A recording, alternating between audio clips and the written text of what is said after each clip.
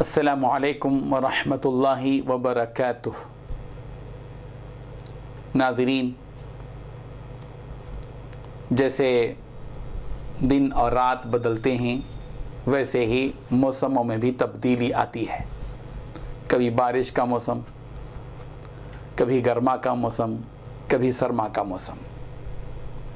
अगर मौसम बरसात का हो और हमारे सामने कोई शख्स गरीब आदमी मजदूर किस्म का भीगते हुए जा रहा हो तो हमें उसके लिए एक ऐसी चीज़ फराहम करनी चाहिए जिससे वो भीग ना सके। रेन कोट दीजिए या कोई ऐसी चीज़ दीजिए जिससे वो बच जाए सर्दी से, उसकी तबीयत ठीक रहे, वो सेहतमंद रहे, उसको बीमारी ना आए। गर्मा का मौसम है तो हम पानी फराहम करें, पानी पिलाएँ।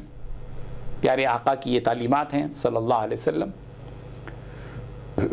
और सर्दी का मौसम जब आता है, और लोग सर्दी में ठिठरे हुए फुटपाथों पर बैठे हुए होते हैं, रेलवे स्टेशन पर बैठे हुए होते हैं, फ्लाईओवर ब्रिज के नीचे बैठे हुए होते हैं, रात उनकी, कड़ाके की सर्दी में रात उनकी गुजरती है।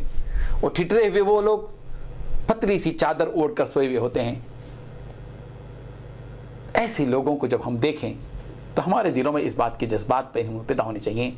रहमदिली का तकादा, गमखारी का तकादा, दर्दमंदी का तकादा, इंसानियत का तकादा, मोहब्बत और उल्फत का तकादा, यही है कि हम उसके लिए कोई ब्लैंकेट फराहम कर दें कि वो मीठी नींद सो जाए, ओढ़ कर सो जाए।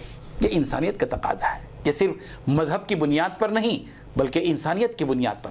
हमें ऐसे लोगों के साथ तर्स खाना चाहिए। आज भी हिंदुस्तान में बहुत से ऐसे शहर, बहुत से ऐसे देहात हैं। बहुत, बल्कि शहरों की कैफियत तो मैं बताऊँ कि बहुत से शहर में आए हुए ऐसे लोग हैं जो मुख्तलिफ़ देहातों से, मुख्तलिफ़ अजला से, मुख्तलिफ़ रियासतों से आए हुए होते हैं। और उनके क़्याम का, उनके ठिकाने का कोई नज़म नहीं होता। और वो लोग इधर उधर रात गुजार देते हैं किसी शटर के सामने, किसी शॉपिंग मॉल के पास सामने, रेलवे स्टेशन के पास फ्लाईओवर ब्रिज के के पास, फुटपाथ पर यहाँ वहाँ सो जाते हैं और ठिठरते हुए सोए हुए होते हैं। हमदर्दी का तकादा यह है कि हम उनके लिए ब्लैंकेट फराहम करें। हम अपनी गाड़ियों में जाते हैं, कार में जाते हैं। ऐसा क्यों नहीं होता कि हम अपनी कार में दो चार ब्लैंकेट रख लें?